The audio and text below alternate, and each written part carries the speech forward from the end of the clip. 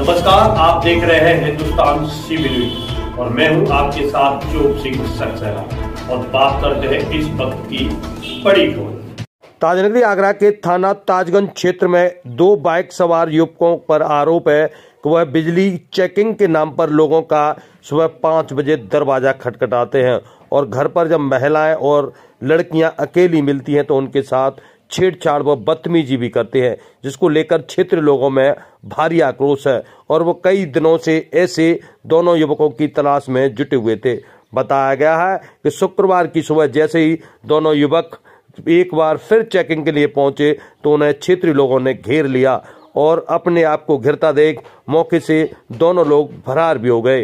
वहीं बताया गया है कि कुछ लोगों ने उन पर हाथ भी सेक लिए, जिसके चलते लोगों में भारी आक्रोश है। और देखिए किस प्रकार उन्होंने आरोप लगाया है कि बिजली चेकिंग के नाम पर वह बदतमीजी करते हैं। जबकि टोरंटो कर्मचारियों का कहना है कि उनका कोई भी कर्मचारी इस प्रकार की हरकत नहीं करता और उनके संज्ञान में इस प्रकार का कोई मामला नहीं है। तो जानते हैं स्थानीय महिलाओं से और क्या कुछ कहना है इस पूरे मामले को लेकर।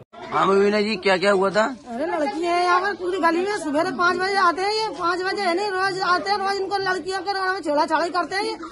और क्या नाम है कहते हैं तुम है नहीं लड़की हो इधर आओ लिख लो लिख लो कहा लिख लो लड़की लड़की आज में आती है अपने घर घर से आज मैंने इनको पकड़ा।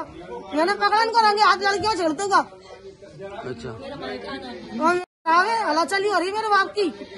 मैं अपने बाप को देखने की नहीं आई हूँ। जो डेली आते हैं। डेली रोज डेली रोज आते हैं डेली रोज। एक दिन इनका बाप और इनको कुछ नहीं मिलता, तार वगैरह कुछ तो- कुछ भी नहीं मिलता तार यहाँ पे चोरी की बत्ती जलेगी तो तार पकड़ेंगे उनकी। अपना आप लड़कियों के मारे घुसते हैं गली के अंदर। ये लड़कियों के मारे घुसते हैं अपना बहाने से आते हैं लड़कियों को छेड़छाड़ नहीं करके लड़की हमारी शर्मदार है हमका शर्मदार होते हैं हम कैसे काम करेंगे? और इसी के साथ जुड़े रहे आप हमारे साथ और देखते रहे हिंदुस्तान सीबी न्यूज़